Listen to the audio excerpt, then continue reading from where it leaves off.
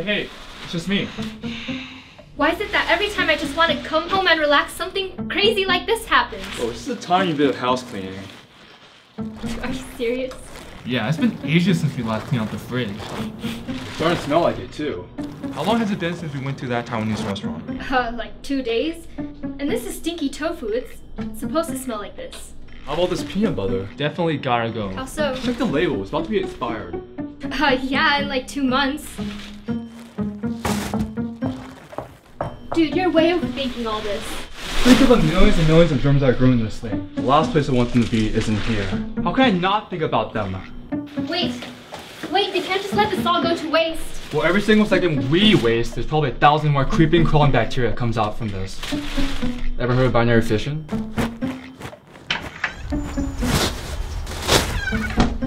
I'm just trying to live a healthy life here. A clean, germ-free life. A clean living doesn't necessarily mean a healthy living, you know.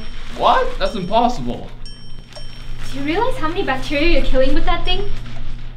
Uh, so? They're germs. When did you become such a germ lover? I'm not a germ lover. I think it's because of that microbiology lab you were always at. Those germs are seriously getting into your head. I think you should have a better awareness of how good of a role germs have in our lives. Like through that yogurt. That one cup probably has up to 17 billion strands of live bacteria. Ugh, disgusting. Really? So tell me, how's all this germ stuff a good thing? What do you mean? Like, how are bacteria like this beneficial? What's so pro about this biotic? Why shouldn't I be grossed out by microorganisms? Well, a little something like this.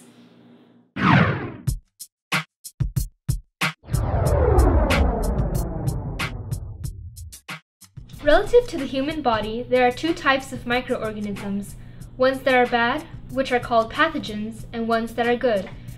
Millions of these good bacteria, fungi, and even viruses are living in our bodies, and they are collectively called the human microbiota. In fact, there are 10 times less human cells than microbial cells. Uh, I really feel like taking a shower right now. You find these colonies basically everywhere, so you can't really get rid of them just with a shower. They live in your mouth, lungs, intestines, skin, and a lot of other places. We call them commensal microorganisms because each one of them calls your body home. So, these aren't the usual suspects of disease? Nope, but they aren't just sitting there. Specifically, when we look at certain bacterial cell communities, they're communicating with each other all the time. How? Through cell phones? You're not that far off, actually. In a process called quorum sensing, they send out chemical signals called autoinducers into their surroundings. Through these molecules, they can tell each other where the food is, what other cells are doing, or when to create biofilms, which are essentially a complex network of structures for them to live together in. So basically, hundreds of tiny cities are living inside of me? Yeah, that's one way of putting it. It's pretty creepy to find out that millions of these bugs are holed up in my body. Yeah. Wait, so how did they get in here in the first place? Well, most of them have actually grown up with you. We're all first exposed to commensal microorganisms that come from our mothers in the womb. And no, they're not here to take over your body or anything. That's a relief. Well, at least not all of them. That's why you sometimes have to go to the dentist to get a filling. But for the most part, they're essential in pretty important processes in your body like detoxifying poisons, regulating your body weight, creating vitamins K and B12, developing healthy tissues, and protecting us from those bad germs. And all they're asking for in return is a free lunch.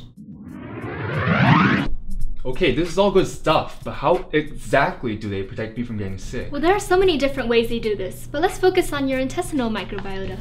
Sure. Shall we?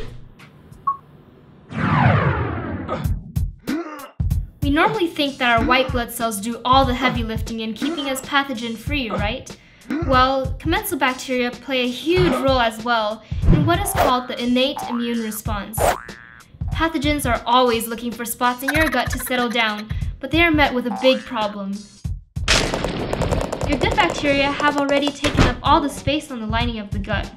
They also hog up all the oxygen molecules and make fatty acids and toxins called bacteriocins.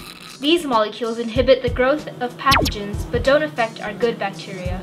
So all they give me is love, but all I give them is crap. Yeah, pretty much. And remember when I told you some bacteria use chemical signals to communicate? It turns out that they are able to talk with us as well in our more direct defense against pathogens, the adaptive immune response. Okay. When pathogens enter the gut through the food we eat, our good bacteria tell the cells that line our gut to make more mucus as a protective barrier. Our bacteria also tell our immune system to make antibodies, such as immunoglobulin A, that stick to pathogens so white blood cells can dispose of them properly. Whoa. Not only that, but they also cause our immune system to make a molecule called IF gamma, which primes the white blood cell to go beast mode on these pathogens. You see, the fight in your gut never, ever stops. Do you know what this could mean? Yeah, just more genotyping, swabbing, and centrifuging. Just more plain old work. Sorry, it's just been the research I've been doing in the microbiology lab. I've been pipetting and pipetting all week, and it's just so boring. I would never have guessed that studying about life could be so lifeless. Wait, what are you talking about? The stuff you're studying is awesome. Think of all the diseases we could solve. I'm sure there are some people that have disorders that prevent proper communication between their bodies and their microbiota. True, recent studies are finding that imbalances in the microbiota may be correlated with diseases like colon cancer, IBD, autism, obesity, and even allergies. So you're right. I guess I just lost sight of the purpose of my work. Well, the bottom line is we need to get this info out to people. Yes, we should. So I guess you're okay with being around germs now? Uh, a little paranoid, I guess. Your methods are quite infectious. Maybe you'd like to come join me in the lab sometime. What? No, I'll probably spray all your bacteria with hand sanitizer by the end of the day. Just a gut reaction. Okay, Mr. Clean. But seriously, go finish your yogurt.